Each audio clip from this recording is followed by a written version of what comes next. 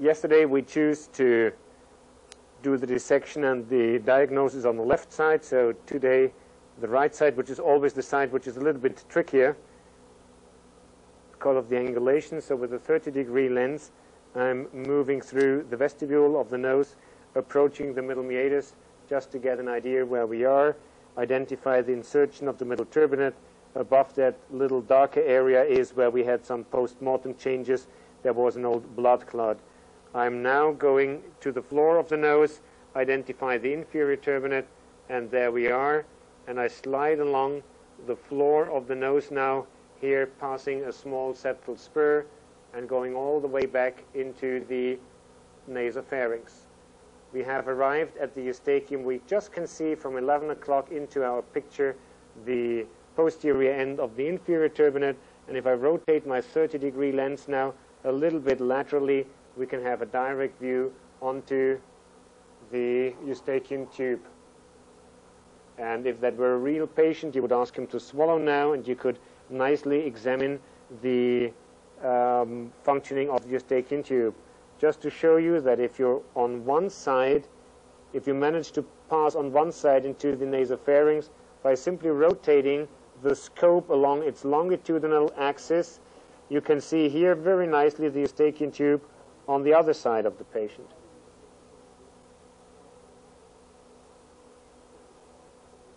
I hope you can see that on the monitor. So up there at 2 o'clock, you now have the eustachian tube of the other side, and you can evaluate the entire nasopharynx.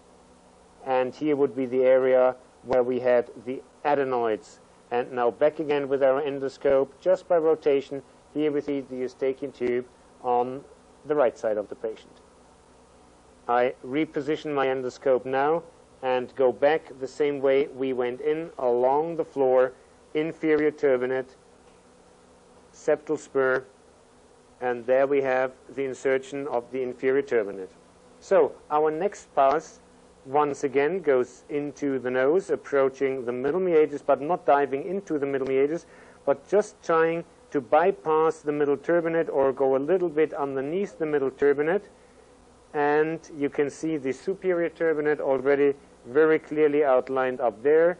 And now I go again to the area of the choana and go up into the sphenoethmoidal recess.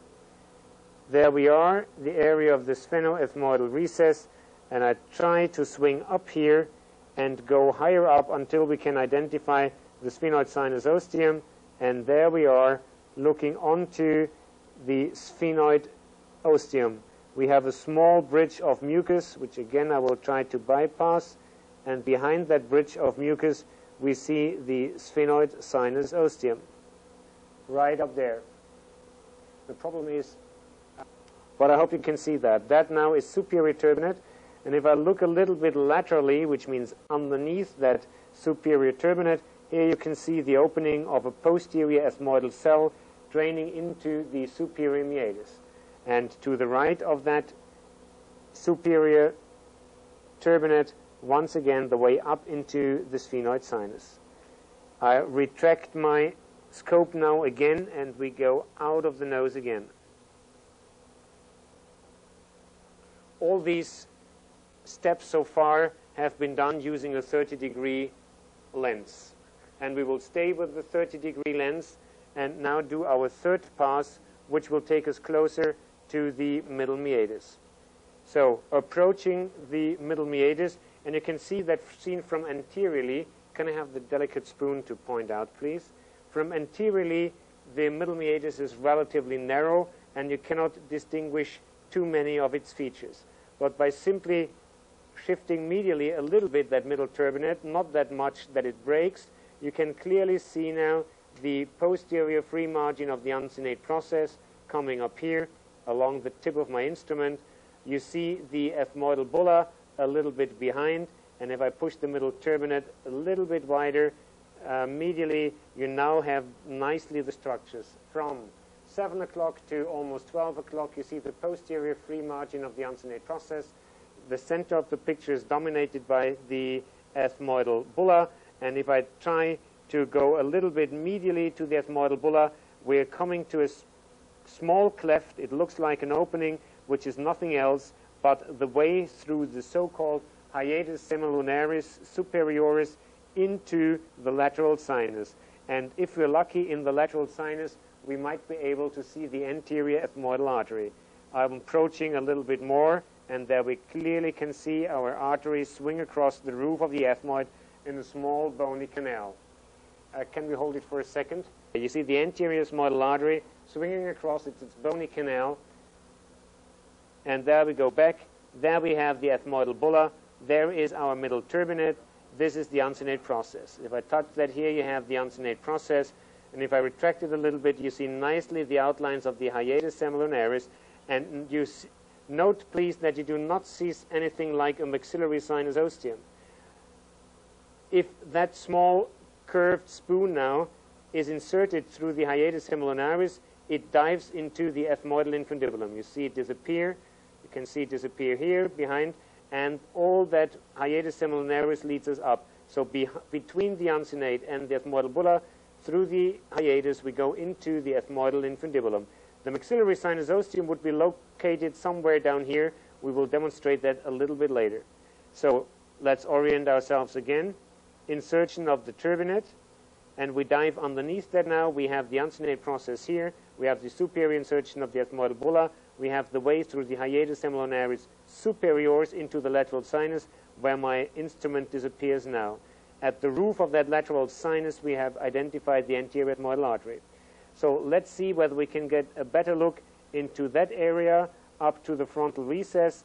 And in this case, it is not possible. We will do so during the dissection. We just can get a glimpse, but I'm not able to tell you whether what we see now is the way into the frontal sinus or whether this is just another blind of one of the ethmoidal cells. So go back and we return our middle turbinate again. I will demonstrate now the other possibility of how to dive in the middle meatus, which is, as the middle meatus is wider posteriorly, you go to the posterior end or near the posterior end of that turbinate and then rotate your way underneath the turbinate, slip underneath the turbinate, and now you're in the middle meatus looking straight onto the ground lamella and you investigate from the back to the front. So I retract the scope very slowly, and now you see the bulla emerge. You have the well-known structure of the uncinate, and if I go up now, this will lead us to the frontal recess, where we could not identify further structures.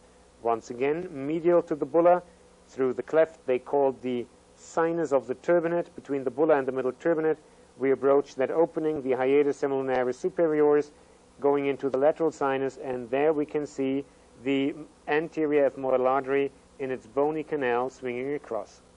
So I will remove that scope now and will perform a diagnostic maxillary sinoscopy for which I will use uh, the trocar sheath and could you please, or that will not fall off, and perform a maxillary sinoscopy, mind that camera for the external. So I go in between the roots of number 3 and 4, while laterally after palpating the infraorbital canal and stay lateral and inferior to that, and now rotate the trocar through. That was a little breakthrough, which should not happen in a real patient. Always be prepared to stop. Retract the trocar sleeve and now go in again with a, still the 30 degree lens, still is, and we will dive into